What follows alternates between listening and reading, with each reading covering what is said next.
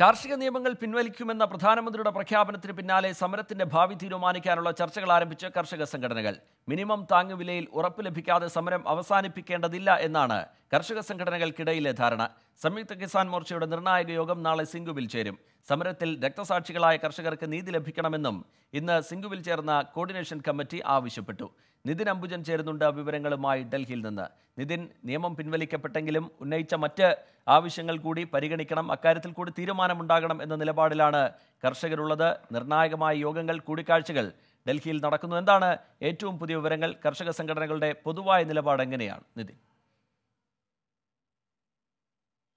റീജിത്ത് സൂചിപ്പിച്ച പോലെ തന്നെ മറ്റാവശ്യങ്ങൾ പ്രധാനമായും താങ്ങുവിലയിൽ നിയമപരമായ ഉറപ്പ് ലഭിക്കുക അതോടൊപ്പം തന്നെ വൈദ്യുതി ഭേദഗതി ബിൽ കൂടാതെ ലേബർ കോഡ് എന്നിവ പിൻവലിക്കണം എന്ന ആവശ്യത്തിൽ ശക്തമായി നിൽക്കുകയാണ്. അതോടൊപ്പം തന്നെ ഈ സമരം ആരംഭിച്ച ശേഷം എഴു- എഴുന്നൂറോളം രക്തസാക്ഷികളാണ് കർഷകരാണ് ഇതിൽ രക്തസാക്ഷികളായത്. അവർക്ക് നിയമ നിയമപരമായി നീതി ലഭിക്കണം എന്നതിനാണ് ഇപ്പോൾ ആവശ്യപ്പെട്ടിരിക്കുന്നത്. കൂടാതെ പരിക്കേറ്റ കർഷകർക്കും നീതി ലഭിക്കണം എന്നൊരു ആവശ്യം തന്നെയാണ് കർഷകർ മുന്നോട്ട് വയ്ക്കുന്നത്. ഇന്ന് സിംഗുവിൽ ചേർന്ന കോർഡിനേഷൻ കമ്മിറ്റിയും ഈ ആവശ്യത്തിൽ ഉറച്ചു നിൽക്കുകയാണ്. അതുകൊണ്ട് തന്നെ സമരം ഉടൻ അവസാനിക്കില്ല എന്ന് തന്നെയാണ് ഇപ്പോൾ മനസ്സിലാക്കാൻ സാധിക്കുന്നത്. ഈ ഒരു സാഹചര്യത്തിൽ നാളെ സിംഗുവിൽ നിർണായക യോഗം ചേരുകയാണ്. ആ യോഗത്തിലാകും ഒരു അന്തിമ തീരുമാനമുണ്ടാവുക. എന്തായാലും സമരവും മുന്നോട്ട് പോകാൻ തന്നെയാണ് ധാരണ. പ്രധാനമായും ഉപതെരഞ്ഞെടുപ്പ് ക്ഷമിക്കണം അടുത്ത വർഷം നടക്കാനിരിക്കുന്ന നിയമസഭാ തെരഞ്ഞെടുപ്പ് നടക്കാനിരിക്കുന്ന സംസ്ഥാനങ്ങളിൽ മഹാപഞ്ചായത്തുകൾ സംഘടിപ്പിക്കണം എന്ന് തന്നെയാണ് ഒരു വിഭാഗം കർഷക സംഘടനകൾ ആവശ്യപ്പെട്ടിരിക്കുന്നത്. ആ ആവശ്യത്തിൽ പിന്നോട്ട് പിന്നോട്ട് പോകില്ല എന്ന് തന്നെയാണ് കഴിഞ്ഞ ദിവസവും കർഷക സംഘടനകൾ നൽകിയ പ്രതികരണം. അതുകൊണ്ട് തന്നെ നാളത്തെ യോഗം നിർണായകമാണ്. നിലവിൽ ഇപ്പോൾ തീരുമാനിച്ചിരിക്കുന്നത് പാർലമെന്റിൽ നിയമം പിൻവലിക്കും വരെ സമരം തുടരുമെന്നാണ്. അതിനുശേഷമായിരിക്കും ഇതിന്റെ ഭാവി തീരുമാനങ്ങൾ കൈക്കൊള്ളുക. എന്തായാലും ഇനിയുള്ള ദിവസങ്ങളിലും അതിർത്തികളിൽ സമരം തുടരണം എന്ന ധാരണ തന്നെയാണ് ഇപ്പോൾ കർഷക സംഘടനകൾ നിലവിലുള്ളത്. ശരി. നിതിൻ അംബുജനാണ് ഡൽഹിയിൽ നിന്ന് വിവരങ്ങൾ നൽകിയത്. മൂന്ന് കാർഷിക നിയമങ്ങളും പിൻവലിക്കാനുള്ള ബിൽ അടുത്തയാഴ്ചത്തെ കേന്ദ്രമന്ത്രിസഭാ യോഗം പരിഗണിക്കും. കരട് ബില്ല് തയ്യാറാക്കാനായുള്ള നടപടിക്രമങ്ങൾ തുടങ്ങി. പാർലമെന്റ് സമ്മേളനം തുടങ്ങു- തുടങ്ങുന്നതിന് മുമ്പ് സർക്കാർ കർഷക സംഘടനകളുടെ യോഗം വിളിച്ചു ചേർക്കും. കാർഷിക നിയമങ്ങൾ റിപ്പീൽ ചെയ്യാനുള്ള തീരുമാനം കേന്ദ്ര സർക്കാർ പ്രഖ്യാപിച്ചു കഴിഞ്ഞു. പാർലമെന്റ് സമ്മേളനത്തിൽ നിയമം റിപ്പീൽ ചെയ്യാൻ ബിൽ അവതരിപ്പിച്ച് പാസാക്കണം. ഇതിനായുള്ള നടപടികളാണ് കേന്ദ്ര സർക്കാർ ആരംഭിച്ചത്. കൃഷി മന്ത്രാലയത്തിലെ സീനിയർ ജോയിന്റ് സെക്രട്ടറിയുടെ നേതൃത്വത്തിലുള്ള ഉദ്യോഗസ്ഥ സംഘമാണ് കരട് ബില്ല് തയ്യാറാക്കുക. കരട് ബില്ല് നിയമ മന്ത്രാലയം തുടർന്ന് വെറ്റ് ചെയ്യും. നിയമ മന്ത്രാലയം ക്യാബിനറ്റ് സെക്രട്ടറിക്ക് കൈമാറുന്ന കരട് ബില്ല് തുടർന്ന് അടുത്തയാഴ്ചത്തെ മന്ത്രിസഭാ യോഗമാകും പരിഗണിച്ച് പാസാക്കുന്നത്. മന്ത്രിസഭ അംഗീകരിച്ചതിന് ശേഷം ബിൽ പാർലമെന്റിന്റെ മേശപ്പുറത്ത് വയ്ക്കും ഇത് പ്രകാരം ശീതകാല സമ്മേളനത്തിൽ തന്നെ ബിൽ അവതരിപ്പിച്ച് പാസാക്കാനാണ് കേന്ദ്ര സർക്കാർ തീരുമാനം. സമാനമായി ഡൽഹി അതിർത്തിയിൽ തമ്പടിച്ചിട്ടുള്ള കർഷകരുടെ സമരം അവസാനിപ്പിക്കാനുള്ള നടപടികളും കേന്ദ്ര സർക്കാർ ആരംഭിച്ചു. കർഷക സംഘടനാ പ്രതിനിധികളുമായി സർക്കാർ അനൌദ്യോഗിക ആശയവിനിമയം ആരംഭിച്ചു എന്നാണ് ലഭ്യമാകുന്ന വിവരം. താങ്ങുവിലയ്ക്ക് നിയമപരിരക്ഷ നൽകണം ഇലക്ട്രിസിറ്റി ബിൽ തൊഴിൽ കോഡ് വിഷയങ്ങളിലെ കർഷക വിരുദ്ധ വ്യവസ്ഥകൾ പിൻവലിക്കണം എന്നതാണ് കർഷക സംഘടനകളുടെ ആവശ്യം. ഇതടക്കം ചർച്ച ചെയ്യാൻ ഒരു യോഗം വിളിക്കുന്നതാണ് ഉചിതമെന്ന് കർഷക സംഘടനകൾ വ്യക്തമാക്കുന്നു. ഈ സാഹചര്യത്തിലാണ് പാർലമെന്റ് സമ്മേളനത്തിന് മുമ്പ് കർഷക സംഘടനകളുടെ യോഗം വിളിക്കാൻ കേന്ദ്ര സർക്കാർ തയ്യാറെടുക്കുന്നത്. കർഷക സംഘടനകൾ സംയുക്തമായി യോഗം ചേർന്ന് നിലപാട് വ്യക്തമാക്കിയതിനു ശേഷം സർക്കാർ ഔദ്യോഗികമായി ചർച്ചയ്ക്ക് ക്ഷണിക്കും. R Radhakrishnan twenty Delhi. കാർഷിക നിയമങ്ങൾ പിൻവലിക്കാനുള്ള തീരുമാനത്തിന് പിന്നാലെ കേന്ദ്ര ആഭ്യന്തര സഹമന്ത്രി അജയ് മിശ്രയെ പുറത്താക്കണമെന്ന് പ്രിയങ്ക ഗാന്ധി. ഇക്കാര്യം ആവശ്യപ്പെട്ട് പ്രിയങ്ക പ്രധാനമന്ത്രിക്ക് കത്തെഴുതി. കോൺഗ്രസ് നടത്തുന്നത് രാഷ്ട്രീയ നേട്ടം ഉണ്ടാക്കാനുള്ള ശ്രമം മാത്രമാണെന്ന് ബി കുറ്റപ്പെടുത്തി. മൂന്ന് കാർഷിക നിയമങ്ങൾ പിൻവലിച്ചതിന് പിന്നാലെ ലഖിംപൂർ വിഷയത്തെ കൂടുതൽ ചർച്ചയാക്കുകയാണ് കോൺഗ്രസ് പാർട്ടിക്ക് വേണ്ടി രംഗത്തെത്തിയ പ്രിയങ്ക ഗാന്ധി കർഷകരോട് ആത്മാർത്ഥതയുണ്ടെങ്കിൽ അജയ് മിശ്രയെ മന്ത്രിസഭയിൽ നിന്ന് പുറത്താക്കാൻ പ്രധാനമന്ത്രിയോട് നിർദ്ദേശിച്ചു പ്രധാനമന്ത്രിക്ക് അയച്ച കത്തിലാണ് അവർ ഇക്കാര്യം വ്യക്തമാക്കിയത് സമരത്തിന്റെ ഭാഗമായി മരണമടഞ്ഞവർക്ക് നഷ്ടപരിഹാരം നൽകണം പ്രധാനമന്ത്രി ആഭ്യന്തര സഹമന്ത്രി അജയ് മിശ്രയുമായി വേദി പങ്കിടരുത് अगर देश के किसानों के प्रति आपकी नीयत सचमुच साफ है तो आज अपने केंद्र गृह राज्य मंत्री के साथ मंच पर विराजमान मत होइए उनको बर्खास्त कीजिए കോൺഗ്രസും പ്രിയങ്കയും രാഷ്ട്രീയ നേട്ടമുണ്ടാക്കാൻ നടത്തുന്ന നീക്കത്തിന് ഒരു പ്രസക്തിയുമില്ലെന്നാണ് ബി ജെ പിയുടെ മറുപടി സർക്കാരിനെയും കർഷകരെയും തമ്മിൽ തെറ്റിക്കുക എന്നതാണ് കോൺഗ്രസിന്റെ ലക്ഷ്യം നിയമം നിയമത്തിന്റെ വഴിക്ക് പോവുകയാണ് ഇക്കാര്യത്തിൽ കോൺഗ്രസിന്റെ അജണ്ട നടപ്പാക്കില്ലെന്നും കേന്ദ്ര സർക്കാർ കൂടുതൽ കർഷകക്ഷേമ നടപടികൾ സ്വീകരിക്കുമെന്നും ബി ജെ പി അറിയിച്ചു കോൺഗ്രസിന്റെ പ്രതികരണത്തിന് സമാനമായി എസ് പിയും ബി എസ് പിയും പ്രധാനമന്ത്രിക്കും ബി ജെ പിക്കുമെതിരെ രംഗത്തെത്തി.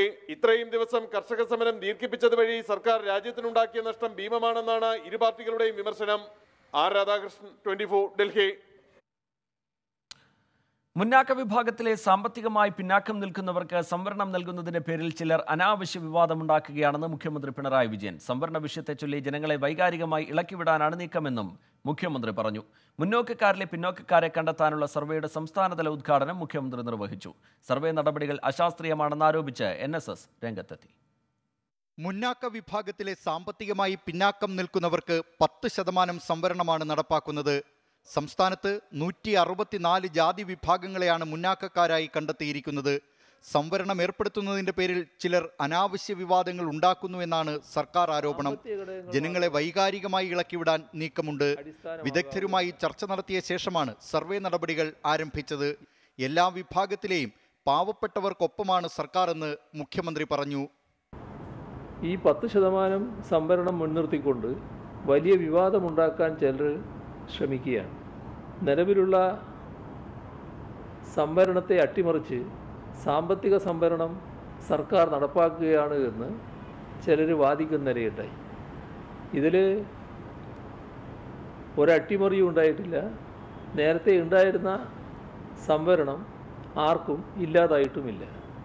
ഏതെങ്കിലും വിഭാഗത്തിന്റെ സംവരണം അട്ടിമറിച്ചുകൊണ്ടല്ല ഇതിപ്പോൾ നടപ്പാക്കുന്നത്. ഒരു വാർഡിൽ അഞ്ച് കുടുംബങ്ങളെ മാത്രം സാമ്പിൾ സർവേക്ക് വിധേയമാക്കുന്നതിനെതിരെ എൻ രംഗത്തെത്തി സെൻസസ് പോലെ സമഗ്ര സർവേ നടത്തണമെന്നാണ് എൻ എസ് എസിന്റെ ആവശ്യം. എന്നാൽ സംവരണാനുകൂല്യം പെട്ടെന്ന് ലഭ്യമാക്കുന്നതിന് വേണ്ടിയാണ് ഇത്തരം സർവേ എന്നതാണ് സർക്കാർ വിശദീകരണം. ആവശ്യമെങ്കിൽ വീണ്ടും കണക്കെടുപ്പ് നടത്തുമെന്നും സർക്കാർ വിശദീകരിക്കുന്നു. ട്വന്റി തിരുവനന്തപുരം. മുന്നാക്ക സമുദായ വിഭാഗങ്ങളുടെ സാമ്പത്തിക പിന്നോക്കാവസ്ഥ കണ്ടെത്താനുള്ള സാമൂഹിക സാമ്പത്തിക സർവേക്കെതിരെ എതിർപ്പ് ശക്തമാക്കി എൻ എസ് എസ്. ആർക്കോ വേണ്ടിയുള്ള ഒരു പ്രഹസനമെന്നാണ് എൻ എസ് എസ് മുഖപത്രത്തിന്റെ വിമർശനം. സെൻസസ് മാതൃകയിൽ യോഗ്യരായ ഉദ്യോഗസ്ഥരെ കൊണ്ട് വിവരശേഖരണം നടത്തണമെന്നാണ് എൻ എസ് എസിന്റെ ആവശ്യം. എസ് ശ്രീകാന്ത് ചേരുന്നുണ്ട് വിവരങ്ങളുമായി കൊച്ചിയിൽ നിന്ന്. ശ്രീകാന്ത് എൻ എസ് എസിന്റെ നിലപാടെന്താണ് വിമർശനങ്ങൾ എങ്ങനെയാണ്? സാമ്പത്തികമായി പിന്നോക്കാവസ്ഥ കണ്ടെത്താനുള്ള സാമൂഹിക സാമ്പത്തിക സർവേയിൽ എതിർപ്പ് ശക്തമാക്കിയിരിക്കുകയാണ് എൻ എസ് എസ്. ആർക്കോ വേണ്ടിയുള്ള പ്രഹസനമെന്നാണ് എൻ എസ് എസ് മുഖപത്രം സർവീസസ് ഇതിനെ വിമർശിക്കുന്നത്. സർവേ ഭാവിയിൽ ആധികാരിക രേഖയായി മാറേണ്ടതാണ്. അതിനാൽ തന്നെ രാജ്യത്ത് സെൻസസ് എടുക്കുന്ന മാതൃകയിലും സംവിധാനത്തിലും യോഗ്യരായ ഉദ്യോഗസ്ഥരെ കൊണ്ട് വിവരശേഖരണം നടത്തണമെന്ന് എൻ എസ് എസ് ആവശ്യപ്പെടുന്നു. എൻ എസ് എസിന്റെ ആവശ്യങ്ങൾ അടിസ്ഥാനരഹിതമാണെന്ന കണ്ടെത്തലാണ് കമ്മീഷന്റെ ഭാഗത്തുനിന്നും ഉണ്ടായത്. ഇത് തികച്ചും അപലപനീയമാണെന്നും എൻ എസ് എസ് കുറ്റപ്പെടുത്തുന്നു.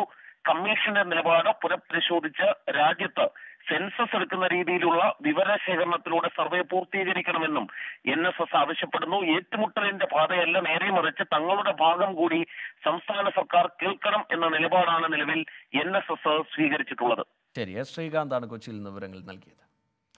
പമ്പ ഡാം തുറന്നു. രണ്ട് ഷട്ടറുകൾ ഉയർത്തി പരമാവധി നൂറ് ക്യുമെക്സ് വെള്ളം പുറത്തേക്ക് ഒഴുക്കും. ജനവാസ മേഖലയിൽ പരമാവധി പത്ത് സെന്റിമീറ്ററിൽ കൂടുതൽ ജലനിരപ്പ് ഉയരാതെ ജലം തുറന്നുവിടാനാണ് നിർദ്ദേശം. വിവരങ്ങളുമായി ഗോകുൽ രവി ചേരുന്നുണ്ട് പത്തനംതിട്ടയിൽ നിന്ന്. ഗോകുൽ എന്താണ് ഇതുമായി ബന്ധപ്പെട്ട വിവരങ്ങൾ? ജനങ്ങൾക്ക് ആശങ്ക വേണ്ട സാഹചര്യമില്ല. കാരണം ജനവാസ മേഖലയിൽ വലിയ രീതിയിൽ വെള്ളം ഉയരില്ല. വിവരങ്ങൾ എങ്ങനെയാണ് ഗോകുൽ തീർച്ചയായും രജിത്ത് പമ്പ ഡാം തുറക്കുന്നുണ്ടെങ്കിലും ജനവാസ കേന്ദ്രങ്ങളിലോ അല്ലെങ്കിൽ മറ്റിടങ്ങളിലോ ആളുകൾക്ക് ആശങ്ക വേണ്ട എന്നതാണ് നിലവിലത്തെ കാലാവസ്ഥ നൽകുന്ന ആശ്വാസം. ഇപ്പോൾ പത്തനംതിട്ടയിലോ അല്ലെങ്കിൽ പമ്പ മേഖലയിലോ കാര്യമായി മഴ പെയ്യുന്നില്ല. സെക്കൻഡിൽ ഇരുപത്തിയഞ്ച് ഖനേടി മുതൽ നൂറ് ഖനയടി വെള്ളം മാത്രമാണ് തുറന്നത് അത് ജനവാസ മേഖലയിൽ എത്തുമ്പോൾ പരമാവധി പത്ത് സെന്റിമീറ്റർ വരെ ആയിരിക്കും ജലനിരപ്പ് വരിക. പക്ഷേ പമ്പ നദിക്ക് വീതി കുറവാണ്. അതുകൊണ്ട് തന്നെ അവിടെ ഒരുപക്ഷെ കൂടുതൽ ജലനിരപ്പ് ഉയർന്നേക്കാം. ഇപ്പോൾ ത്രിവേണിയിൽ അഞ്ച് പടിക്കെട്ട് താഴെയാണ് വെള്ളം ഒഴുകിക്കൊണ്ടിരിക്കുന്നത്. ഏതായാലും ഇപ്പോഴും പമ്പാ സ്നാനമോ മറ്റ് ബലിതർപ്പണമോ ഉള്ള ചടങ്ങുകൾ നദിയിൽ ഇറങ്ങിയുള്ള ചടങ്ങുകൾ അതിനുള്ള അവസരമില്ലാത്തത് കൊണ്ട് തന്നെ അത്തരത്തിൽ അയ്യപ്പ ഭക്തന്മാർക്കും ഭീഷണി ഉണ്ടാകില്ല എന്ന് തന്നെയാണ് മനസ്സിലാക്കുന്നത്. ഏതായാലും ജില്ലാ ഭരണകൂടത്തിന്റെ നിർദ്ദേശം യാതൊരു കാരണവശാലും അയ്യപ്പ ഭക്തരോ ശബരിമല തീർത്ഥാടകരോ മറ്റ് നദിയുടെ തീരത്തുള്ളവരോ പമ്പാ നദിയിലേക്ക് ഇറങ്ങരുത് എന്ന ഒരു ജാഗ്രതാ നിർദ്ദേശമാണ് നൽകുന്നത്. അതിന് കാരണം മഴ പെയ്യുകയാണെങ്കിൽ ഒരുപക്ഷെ നാട്ടിൽ മഴ പെയ്യുമ്പോൾ അല്ലെങ്കിൽ മറ്റ് വനമേഖലകളിൽ മഴ പെയ്താൽ ഒരുപക്ഷെ ജലനിരപ്പ് കൂടുതൽ ഉയർന്നേക്കാം. ഏതായാലും പന്ത്രണ്ട് മണിയോടുകൂടി പമ്പ ഡാമിന്റെ ഷട്ടറുകൾ തുറന്നിരിക്കുകയാണ്. രണ്ട് ഷട്ടറുകളാണ് ഇപ്പോൾ ഉയർത്തിയിരിക്കുന്നത്. ശരി പമ്പ ഡാമിന്റെ രണ്ട് ഷട്ടറുകൾ ഉയർത്തി ഗൂഗിൾ രവിയാണ് വിശദമായ വിവരങ്ങൾ നൽകിയത്. മിനിമം ചാർജ് വർദ്ധിപ്പിക്കണമെന്ന സ്വകാര്യ ബസ് ഉടമകളുടെ ആവശ്യത്തിൽ സർക്കാർ തീരുമാനം ഇന്നുണ്ടാകും. വൈകിട്ട് ഗതാഗത മന്ത്രി ആന്റണി രാജു ബസ് ഉടമകളുമായി നടത്തുന്ന ചർച്ചയിലായിരിക്കും തീരുമാനം അറിയിക്കുക. ബസ് ഉടമകളുടെ ആവശ്യങ്ങൾ പരിഗണിക്കാമെന്ന് നേരത്തെ സർക്കാർ ഉറപ്പു നൽകിയ സാഹചര്യത്തിൽ നിരക്ക് വർദ്ധിപ്പിക്കാനാണ് സാധ്യത. ഇന്ധനവില കുതിക്കുന്ന പശ്ചാത്തലത്തിൽ വിദ്യാർത്ഥികളുടെ ഉൾപ്പെടെ യാത്രാ നിരക്ക് വർദ്ധിപ്പിക്കണമെന്നും ഡീസൽ ഇന്ധന സബ്സിഡി നൽകണമെന്നടക്കമുള്ള ആവശ്യങ്ങൾ മുന്നോട്ട് വെച്ചാണ് ബസ് ഉടമകൾ നേരത്തെ സമരം പ്രഖ്യാപിച്ചിരുന്നത്.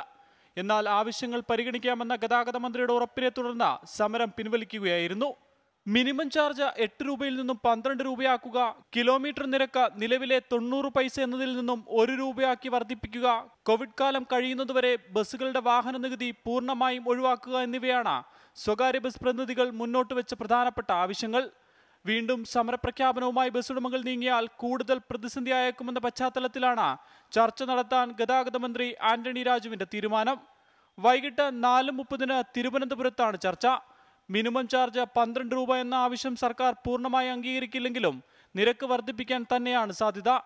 മിനിമം ചാർജ് പത്ത് രൂപ എന്ന തീരുമാനമാകും സർക്കാർ സ്വീകരിക്കുക.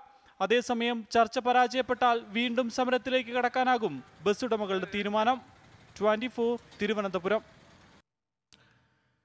സംസ്ഥാനത്തെ സിനിമാ തിയേറ്ററുകളിൽ എല്ലാ സീറ്റുകളിലും പ്രേക്ഷകരെ അനുവദിക്കുന്നതിൽ ഇന്ന് തീരുമാനം. നിലവിൽ സിറ്റിംഗ് കപ്പാസിറ്റിയുടെ പകുതി മാത്രമാണ് പ്രേക്ഷകരെ അനുവദിക്കുന്നത്. എല്ലാ സീറ്റിലും പ്രേക്ഷകരെ അനുവദിക്കണമെന്ന സിനിമാ സംഘടനകളുടെ നിരന്തര ആവശ്യമാണ് സർക്കാർ പരിഗണിക്കുന്നത്.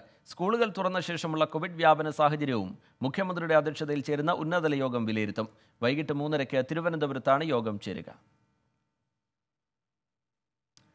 ഇടുക്കി ഡാമിലെ ജലനിരപ്പ് വർദ്ധിച്ചതോടെ കൂടുതൽ ജലം പുറത്തേക്ക് ഒഴുക്കി തുടങ്ങി. ഷട്ടറിന്റെ അളവ് നാൽപ്പത് സെന്റിമീറ്റർ ഒരു മീറ്ററായി ഉയർത്തി കൂടുതൽ വെള്ളം പുറത്തേക്ക് ഒഴുകുകയാണ്. അതേസമയം മുല്ലപ്പെരിയാർ ഡാമിലെ ജലനിരപ്പ് നൂറ്റി നാൽപ്പത്തിയൊന്ന് ദശാംശം അഞ്ചടിയായി ഉയർന്നു.